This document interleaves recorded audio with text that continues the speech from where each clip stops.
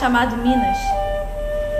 Nessa época, eles moravam na beira de uma estrada e tinham uma venda por onde passava uma jardineira, de semana em semana, levando não se sabe para onde uma gente magra, suja de uma terra vermelha e que estava indo embora.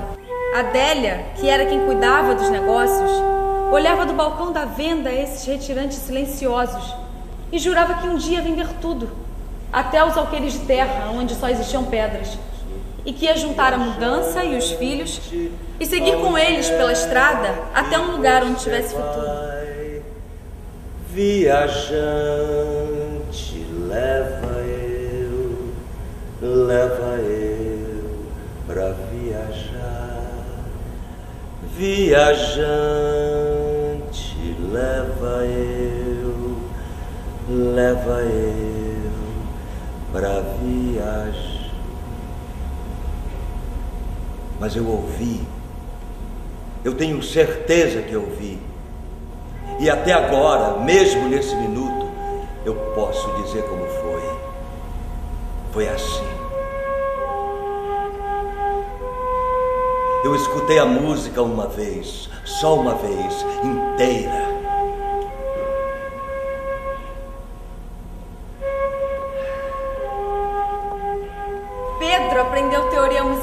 Conta própria, através do método Janine, único, único até então conhecido.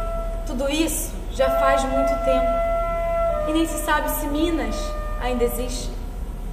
Um dia Pedro ouviu uma música tão extraordinária que para escrevê-la seria preciso inventar uma clave diferente das do método Janine, tarefa a qual ele dedicou a sua vida, como se verá.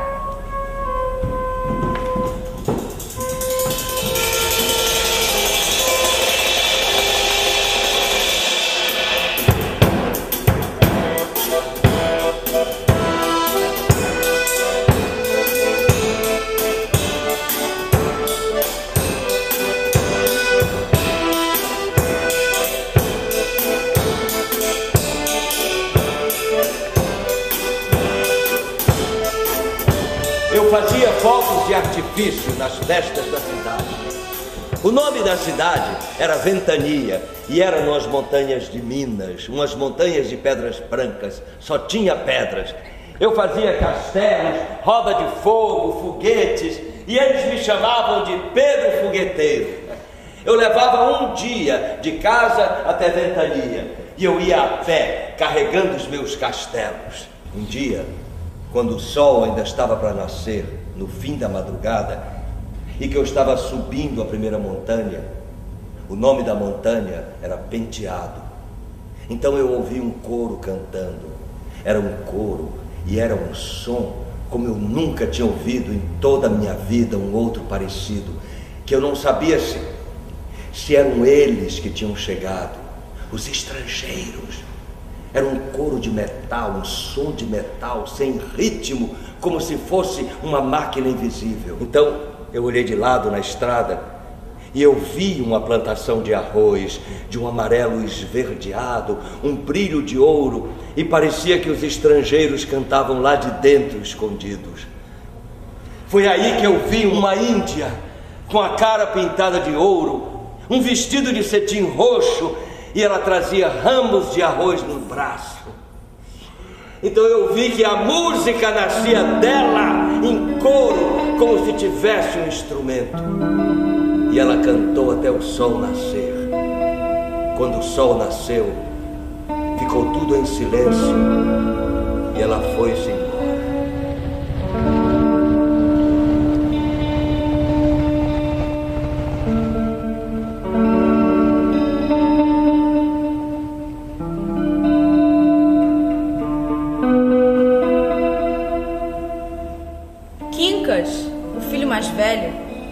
Casado com a prima Neuzinha, descendente de ciganos, e os dois já tinham ido embora de Minas para a cidade.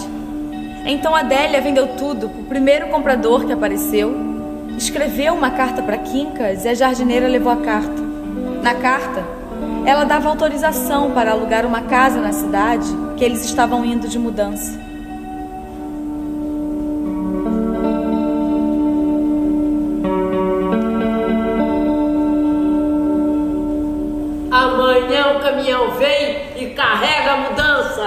Vocês vão, eu fico. Fica onde? Não tem nem mais um palmo de terra, homem. Chegou a hora de ir embora. Botamos cinco filhos no mundo, agora tem que sair futuro para eles. Eu estou quase, eu, eu, eu, estou chegando, eu já sinto as notas aqui dentro da minha cabeça. Você já está ficando a lelé da cuca, isso sim. E você vai levar os meninos, e até eu, até eu, se não tomar cuidado, acabo ficando maluca com essa tua mania de música. Se eu sair daqui, eu perco as minhas notas. A gente não come notas, Pedro. Então faz assim. Vocês vão na frente, depois eu vou. Os meninos precisam de aprender, eu não. Nós não vamos para aprender, vamos para viver. Viver para mim é aqui. Eu estou cansada de ser realista sozinha. Se você não vai, então ninguém vai. Você vai ficar aí tocando essa música que só existe dentro da tua cabeça e nós vamos ficar te ouvindo, nós todos, até todo mundo virar pedra. Cadê? Toca! Minas morreu, acabou. Nós é que estamos vivos. E nós vamos fazer o que fora daqui? Viver como todo mundo vive. Quer dizer então que acabou mesmo? Quer dizer que Minas acabou? Quer dizer que amanhã a gente vai se embora e nunca mais volta? Não tem mais nada atrás, homem. O que tem é a estrada. E a minha clave? Eu não vou terminar a minha clave? Como é que eu posso sair daqui sem concluir a minha clave? Minas morreu, acabou. Tem os cinco e tem a estrada. O que tem é a estrada. Para que o teu ouvido não escute, teu olho não veja, tua boca não fale, teu nariz não cheire, para que tuas mãos não apalpem mais. Minas vai virar lenda e não vai ter nem dor nem lembranças mais. Até que esse tempo se apague, um novo tempo venha.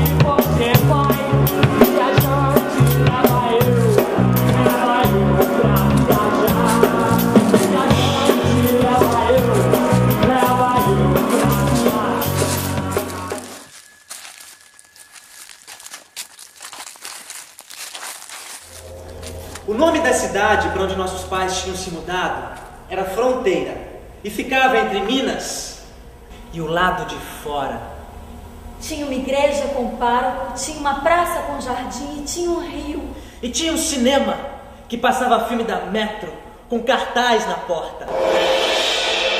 Viajante, viajante, de onde é que você vem? Viajante viajante, de onde é que você vem? Viajante, viajante, aonde é que você vai? Viajante, leva ele. Isabel! Leva Tem um rio que passa dentro da cidade, os meninos tomam banho lá. Teve até um menino que passou dentro de uma canoa convidou para encontrar com ele atrás da igreja de noite. Mas é pecado, fique sabendo. Pecado venial ou mortal? Pecado mortal, a gente vai direto pro inferno, sem passar pelo purgatório. Isso é bobagem, invenção. Eu não acredito numa vírgula disso. Então sorte a tua. Sorte a minha, sorte a minha, sorte a minha! Tem uma gente pobre lá que nem parece gente. Eles jogam cocô dentro do rio. Depois tomam um banho lá, lavam a roupa lá. Ah, eu vou sair. Vou na praça, vou arranjar um namorado, me casar e end. Você acha que eu sou um caipira? Eu sou caipira, não ligo a mínima. Detesto gente caipira. Caipirismo é uma coisa que eu detesto. Quem você pensa que nós somos? Nós somos índios. Quem nasceu no meio de pedra e mato é índio. É isso aqui que nós somos. Índios. Eu era um imperador azteca! Sabe que eu gostava de Minas, papai? de ir na procissão de Corpus Christi. Você lembra da procissão de Corpus Christi? Que as pessoas colocavam toalhas do lado de fora da janela, enfeitavam as ruas com folhas e a gente andando em cima das folhas. Eram folhas ou eram flores, papai? Folha. Mas tinha flor também, não tinha? Tinha. Papai, a mamãe foi lá na igreja falar pro padre por se eu tocar na banda e fazer foguete aqui também.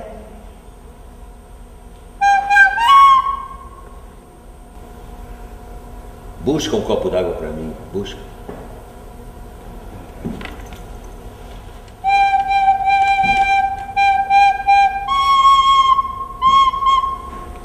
Vela tá acesa, papai? Apagada. A mamãe disse que tinha que ficar acesa. Então acende. Sabe que eu esqueci completamente a minha clave? Eu já tinha achado até o nome. Ia se chamar A Clave de Cinco Notas. Também não fazia sentido, né? Mas tinha um momento que era claro. Eu relacionava com vocês cinco, depois eu relacionava com os cinco sentidos, depois eu contava o número de letras de Minas e dava cinco. Aí depois não fazia sentido de novo. Daí também eu me perguntei, para quê? Para quê? Para quê? Bobagem. Ou não? Mas não era nem para mostrar. No fundo, no fundo, não era nem para mostrar. Ou era? Então para quê? Ainda bem que eu esqueci, esqueci completamente. É como se as notas tivessem pousado aqui às cinco e de repente tivessem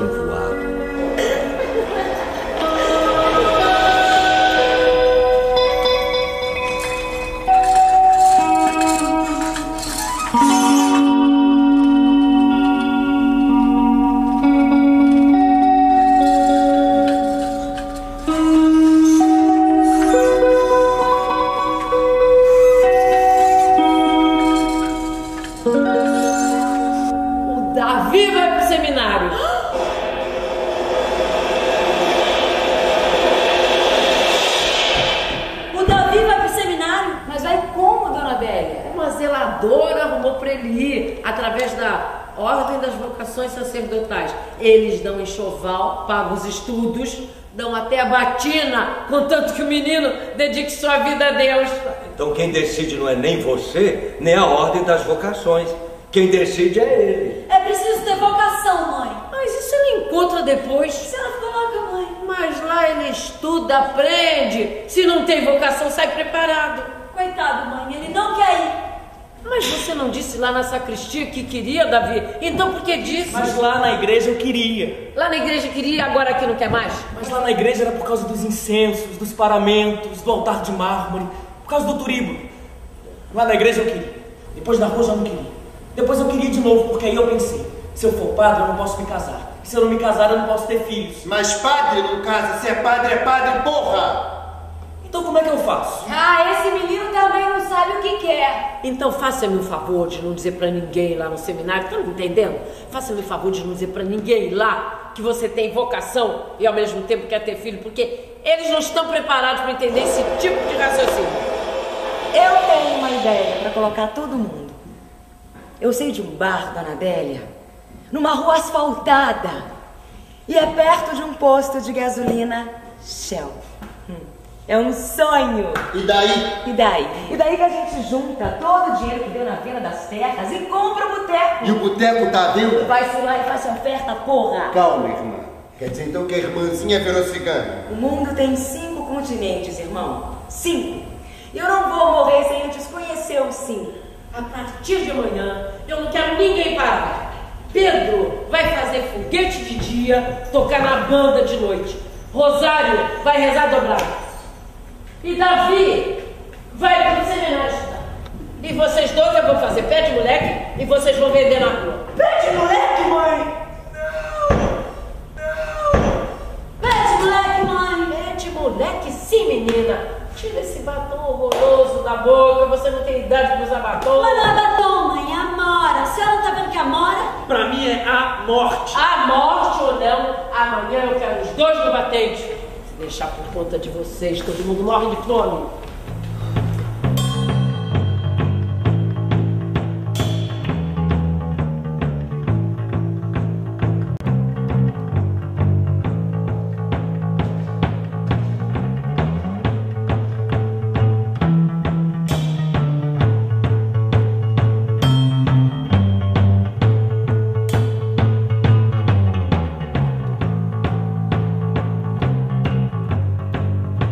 Se o Davi vai pro seminário amanhã, eu vou daqui a um mês.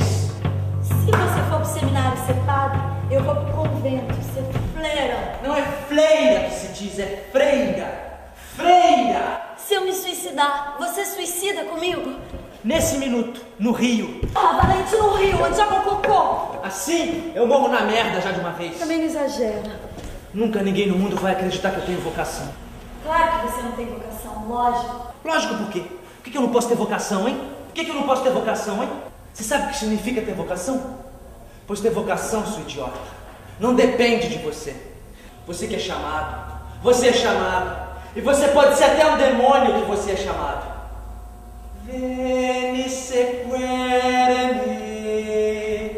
Foi o que Jesus Cristo disse. Eu li no livrinho latim domingo na igreja. Quer que eu leia tua mão? Me diz só uma coisa, quantos anos que eu vou viver? 10 mil anos luz. Dez mil anos luz. Agora o lado sentimental. Diz, Você vai casar. com quem? Diz com quem? Claro que não diz com quem, só diz que você vai casar. E eu vou ter filhos? Eu não sei, irmão. Você não sabe ler pra que se mete. Agora lê a minha. Você tem as mãos finas, você tem as mãos de um imperador azteca. Tudo que eu queria na vida. Ter nascido um imperador inca. Mas não era azteca? Inca! Como você joga alto? Eu só jogo alto, Isabel. Vamos fugir? Fugir pra onde, menino? Tem milhares de cidades, de ilhas. Depois tem povos. E cada povo fala uma língua diferente. Depois tem cinco continentes. Depois tem mares. Depois tem milhares de cidades. Bilhões de planetas, de estrelas, galáxias. você me enlouquece! Eu não me conformo. Não tem nada demais vender pé de moleque na rua, nada demais. Para um imperador azteca tem. Imperador. Quem é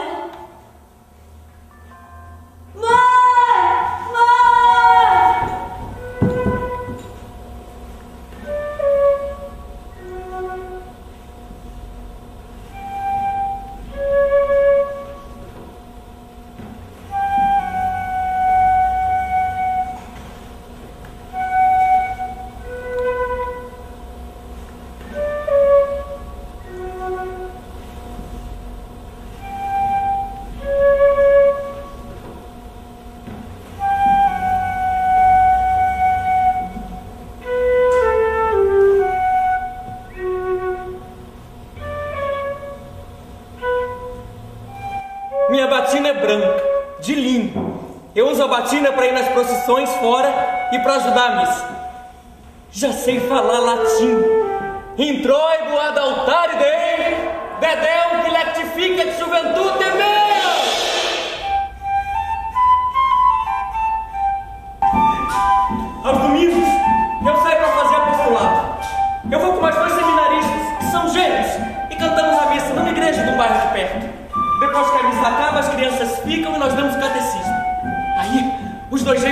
Gêmeos terminam de dar o catecismo para um grupo de crianças e saem para brincar de pique na praça.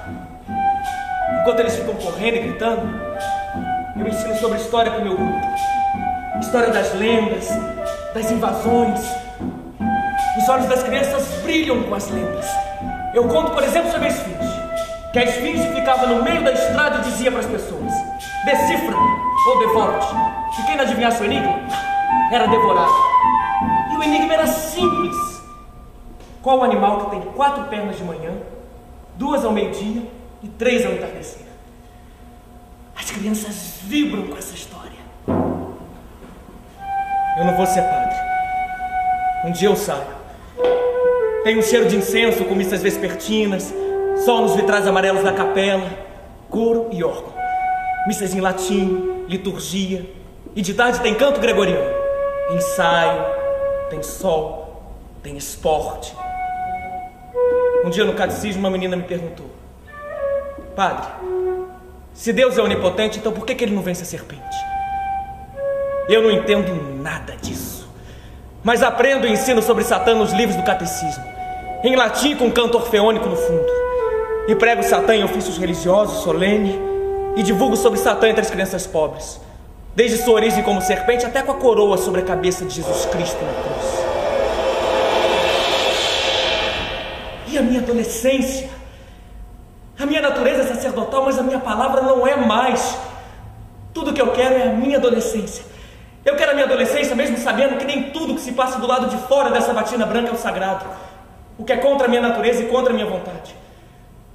As minhas mãos são litúrgicas, os meus braços são litúrgicos e até minha cabeça é litúrgica.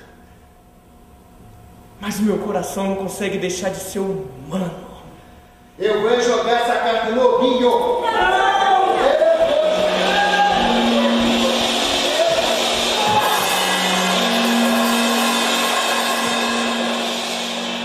Não é tão botiquinha assim. Tem mesa para sentar, tem rádio para ouvir música, tem uma sorveteria, um balcão todo de mármore e é uma rua asfaltada. Tem casa para morar junto. Então vai custar muito caro. As terras. Eu cheguei no fim da viagem, eu fiquei velho. Chegou no fim da viagem? Que homem? Você está muito desanimado. Eu cheguei no fim da viagem, eu sei. Eu vou cuidar do bar, eu. Os meninos ajudam depois da escola. Eu sei lidar com a freguesia. Você continua na banda, agora que já comprou fogos caramuru. Lembra que meu irmão falava que ia inventar o moto contínuo? O moto contínuo era a máquina que não precisava de impulso. Ele foi morar sozinho numa casa que ele mesmo construiu no meio do sertão e passou a vida procurando a fórmula do moto. Até que ficou doido. Tua família é uma família de gente biruta.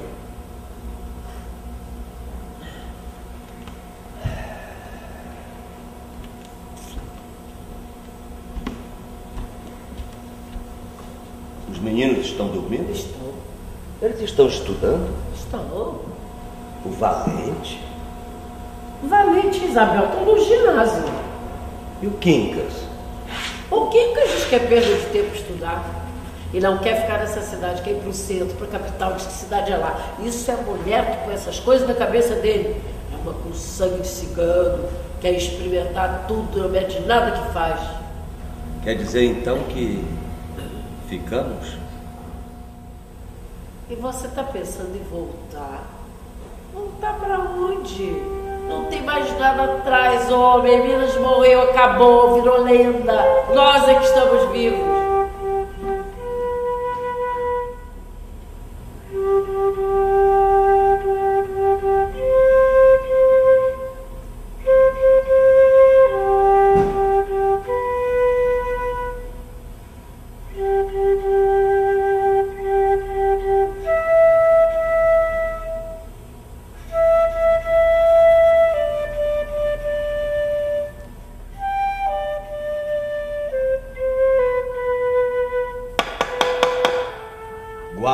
Algum lugar. Não vai tocar mais, papai? Vai ficar aqui, dentro do oratório. O dia que você resolver tocar, o senhor me pede, papai. Daí veio uma gaivota. Lembra? Era uma gaivota verde e rosa. Verde e rosa, nunca me esqueço. O céu azul em cima, a água de prata brilhando. Eu e você dentro da canoa, você vestida de noiva, segurando um feixe de margaridas do campo. Aí a gaivota verde rosa sumiu e você disse: Vem vindo mais, vem vindo mais. Aí eu olhei e vi uma, duas, três, quatro, cinco. Elas vinham voando no mesmo ritmo, acompanhando nossa canoa. Daí você falou: Elas são douradas. Olha, eu prestei atenção e vi que elas eram douradas. Era um ouro puro, voando no mesmo ritmo, acompanhando nossas cabeças. Tinha uma rocha parada no meio da água, e de trás da rocha vinha um coro indígena.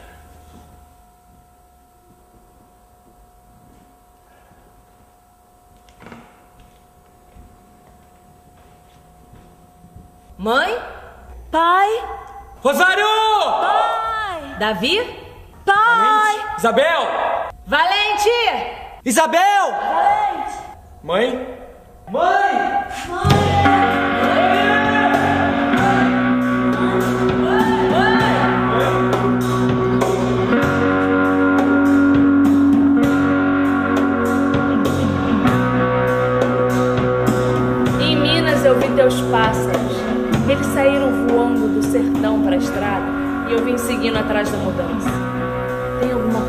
possa te ensinar a respeito de tuas crias? Vê o futuro deles.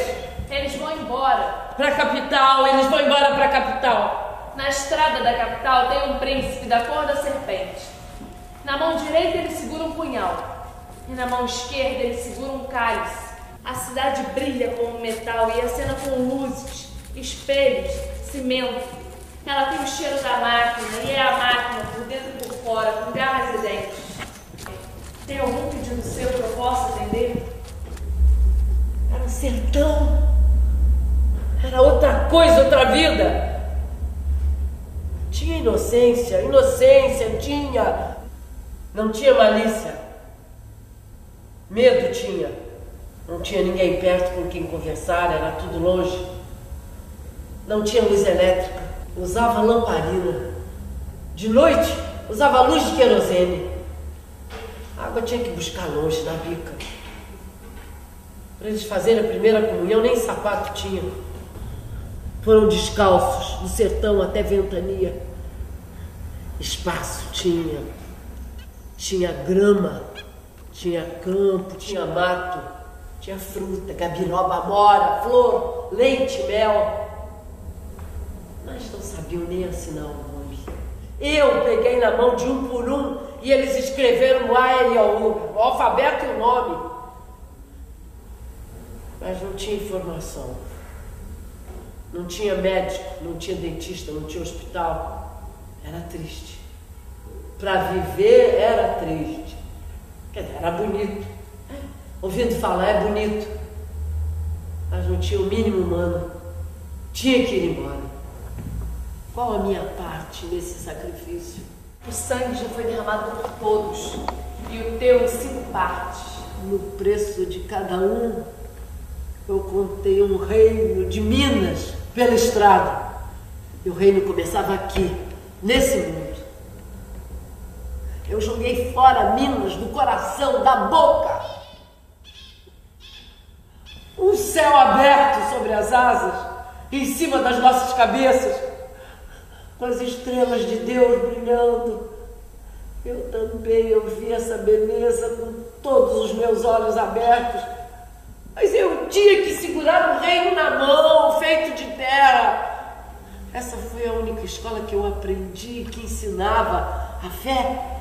Começava com a terra debaixo do pé, segurada na mão. abre no céu. Tinha que Só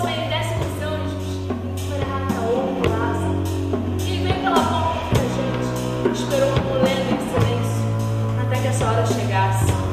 Abre a mão, o olho, olhos e desfaz, sem medo. Desata. Solta dos ossos, voz e grito.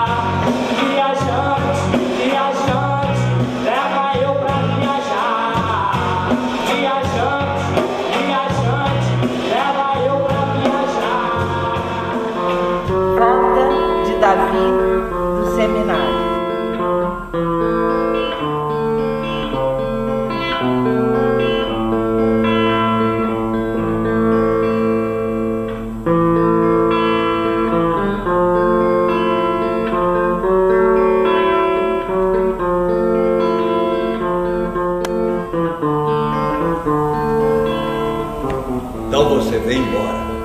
Vim embora. Você está na sua casa. É tudo teu.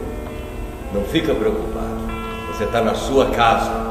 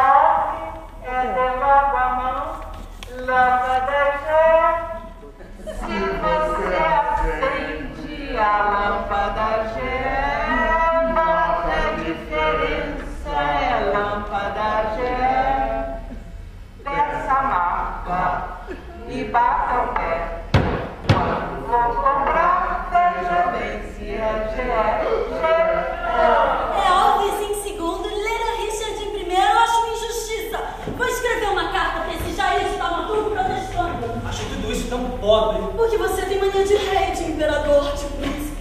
Love me, tango, love me, sweet. Never let me go.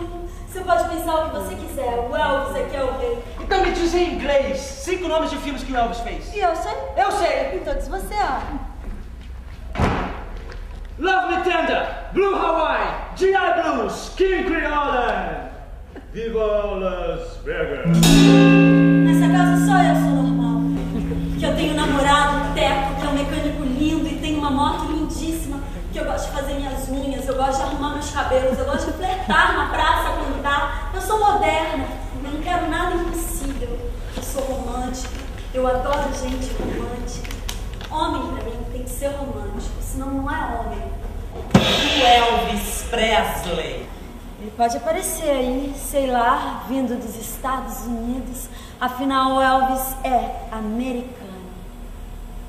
Love me tender, love me long, take me to your heart,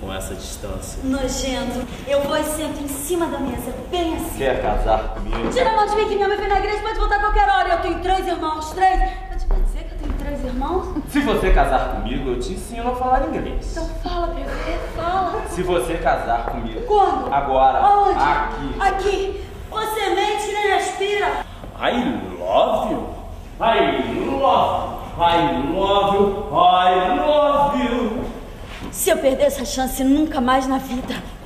Come on, gatinha. Come on. Então diz que você me ama. I love. Sim. Mas eu estou dizendo I love Então repete com toda a convicção. com toda a convicção.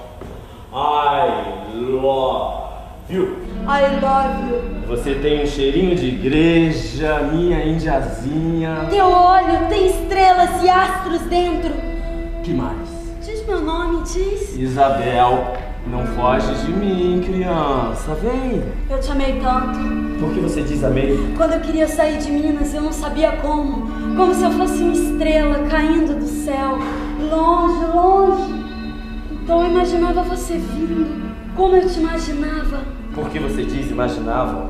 Então você dizia I love you. I love you. Você diz I love you. I love you. E eu dizia I love you. I love you. E eu digo I love you.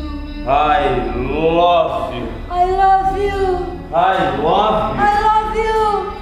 I love you. I love you. I love you.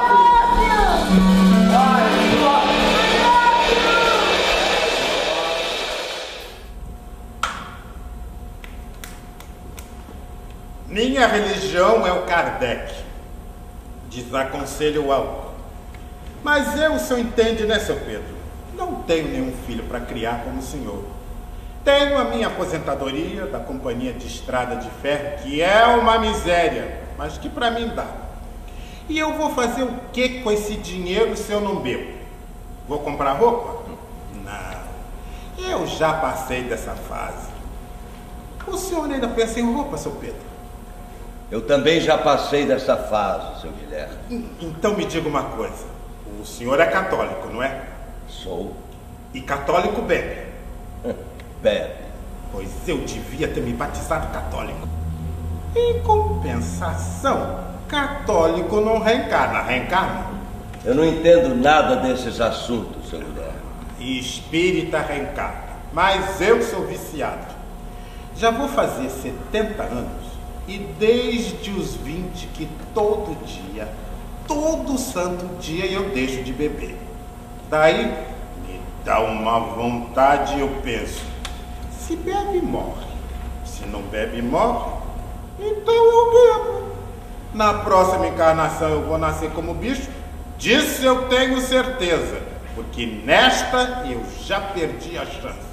Então eu aproveito para fazer tudo de uma vez. Deixa a melhora para a próxima. Qual é a sua opinião, seu Pedro? Eu não tenho opinião, seu Guilherme. Eu bebo. Eu bebo porque eu gosto de sentir o fígado pesando. Vômito de manhã. Enjoo ao escovar os dentes, até gosto. Por que, que eu gosto do veneno, eu não sei. Nasci bêbado e vou morrer bêbado. Mesmo sabendo que vou voltar como bicho. Que nem uma lagartixa, por exemplo. Você conhece animal mais feio do que uma lagartixa, seu Pedro? Eu não conheço. Ou então como vira-lata, que vive comendo lixo, levando porrada na rua, dona Adélia. E, no entanto, é manso. É manso ou não é manso? Não pode ser manso. Me dá mais uma pinga aí, seu Pedro. Seu Guilherme, por hoje chega, tá, seu Guilherme? Ô, dona Adélia, eu não estou bêbado. Eu consigo fazer uma Vai cair, seu Guilherme. Cuidado, seu Guilherme. Por hoje chega. Não insiste. Ô, seu Pedro, só mais uma. Só umazinha. Só uma assim. Às vezes eu penso que o Kardec. Não. Às vezes me passa pela cabeça que a gente só vive uma vez e pronto. Qual é a sua opinião, seu Pedro? Será que isso tudo tem alguma relação? Será que existe alguma ordem ligando isso tudo? Algum fio? Será? Para nós que somos músicos, tem. Tem ou não tem, seu Pedro? Homem, é porque nós tocamos no método Giannini, que tem a clave de Sol e de Fá, se eu não me engano.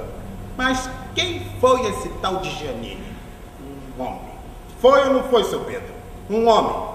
Então não pode ter 500 mil outras maneiras de tocar a mesma música? Tem. Só não tem porque ninguém inventa outra. E porque já jogam na cara da gente o método Giannini assim que a gente começa a tocar com a música. E depois a gente passa o resto da vida achando que falou Giannini tá falado, quando não tá falado. Tenho razão ou não tenho, seu Pedro? Me dá mais uma aí, seu Pedro. A última. A última. Se bebe, morre. Se não, bebe, morre.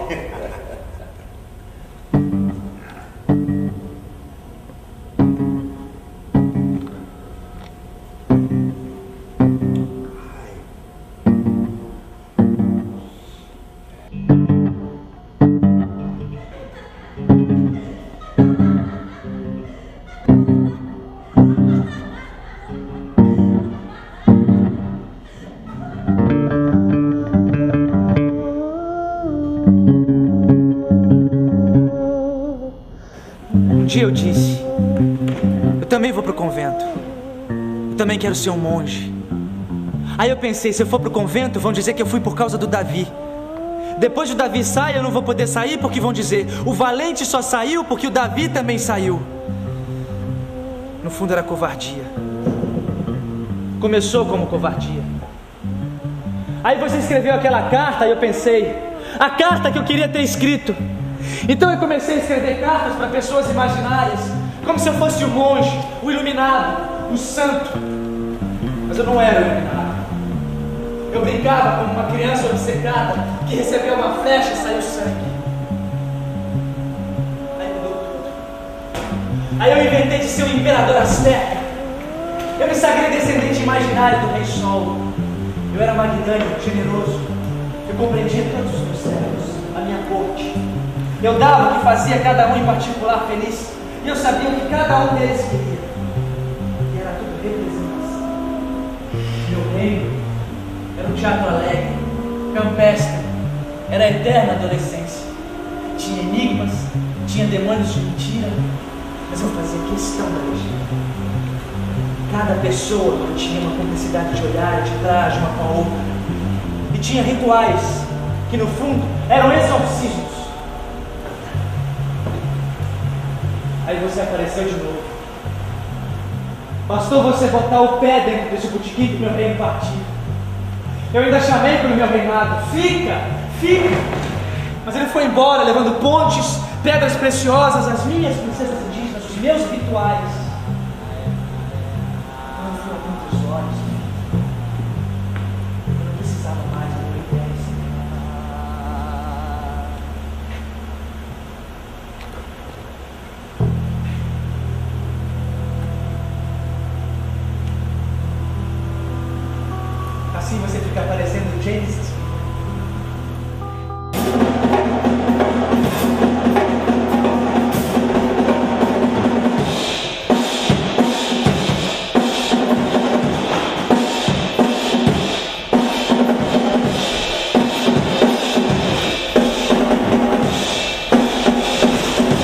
Mão teve o ouro. E eu vi o ouro escorrendo entre os dedos e não pude fazer nada. Porque eu estava sozinho.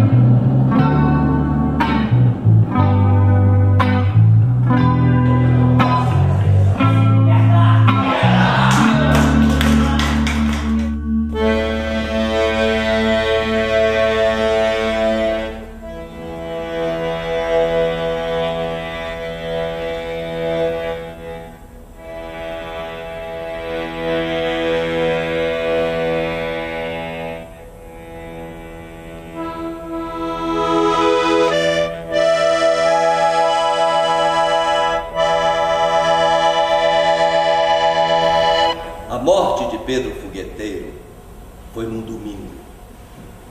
Eles todos tinham saído para ir na procissão de Corpus Christi e ele ficou com o rosário. Aí ele tomou um banho, vestiu uma roupa nova e calçou um par de sandálias, fumou um cigarro de palha e ficou esperando.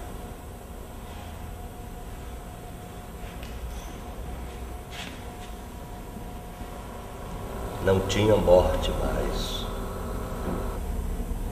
Nunca mais ia precisar da morte. Era a salvação.